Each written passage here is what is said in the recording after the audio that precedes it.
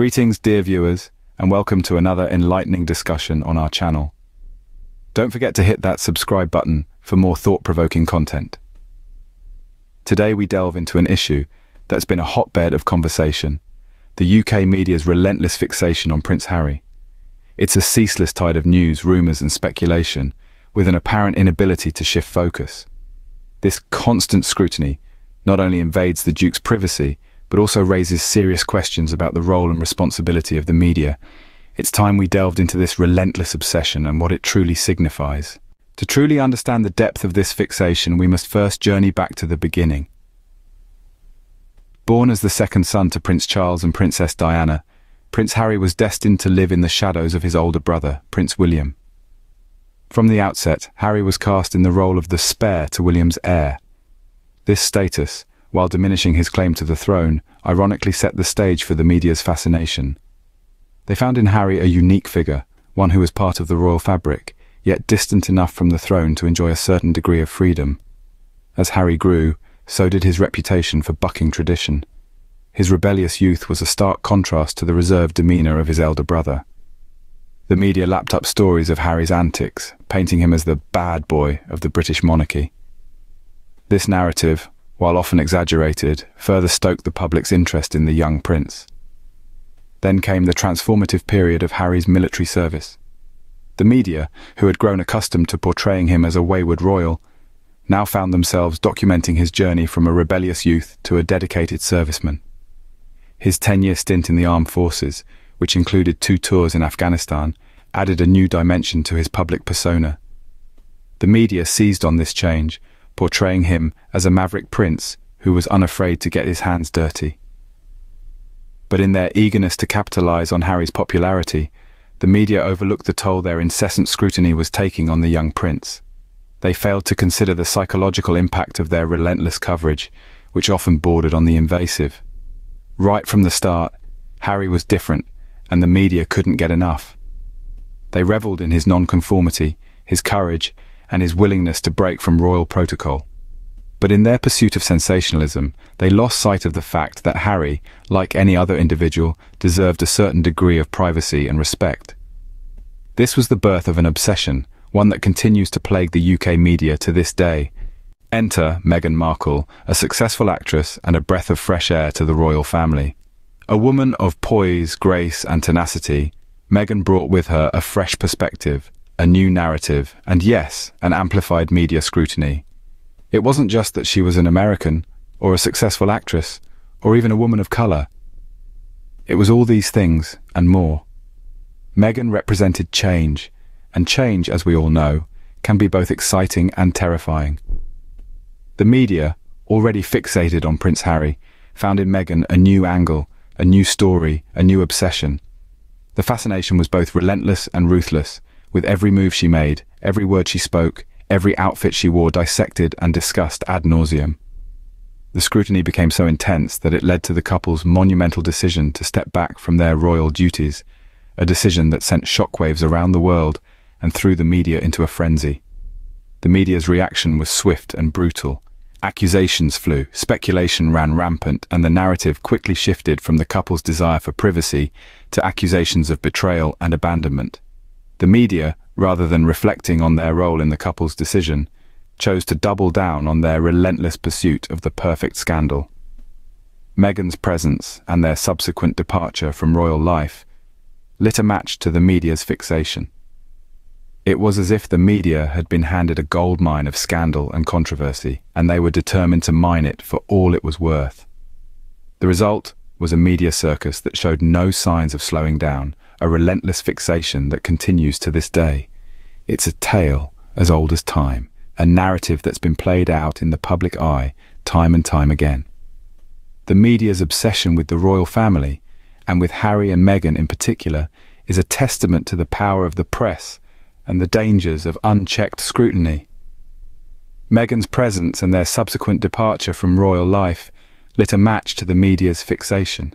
The media, however, plays a significant role in shaping public perception. It's not just about relaying information anymore, it's about the narratives they weave, the stories they choose to amplify, and the individuals they spotlight. As we dive into the fourth scene of our discussion, we must address the elephant in the room, the media's responsibility. Responsible reporting is not merely about avoiding libel or slander. It's about understanding and acknowledging that every story told, every headline published reverberates through society, influencing thoughts, shaping views, and sometimes even swaying public sentiment. In the case of Prince Harry, the media's relentless fixation has crossed the line into intrusion.